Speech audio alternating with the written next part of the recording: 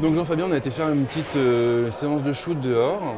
Et toi qui es photographe, j'aimerais avoir ton point de vue sur euh, le Z1 Compact. Bah, le Z1 Compact, en fait, comme le Z1, hein, puisque c'est son petit frère euh, et son aîné en même temps euh, maintenant, c'est un super appareil.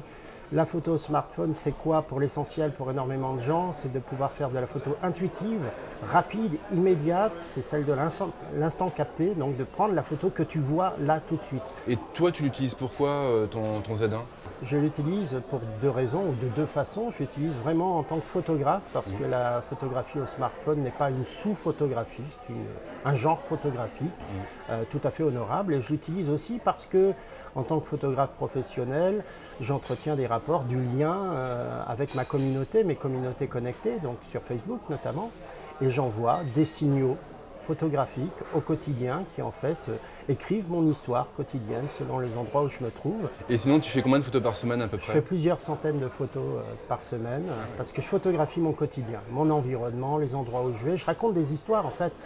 C'est du, euh, c'est, c'est du storytelling, faire de la photo. Donc j'envoie des signaux vers mes communautés, euh, mes captations, mes émotions du moment, etc.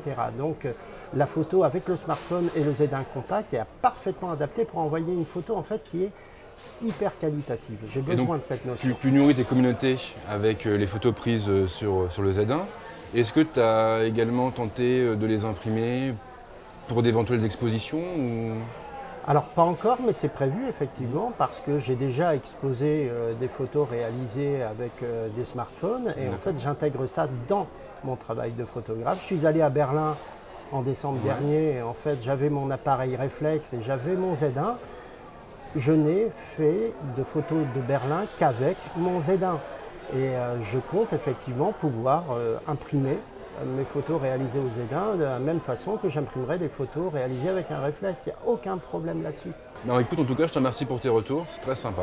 Avec plaisir.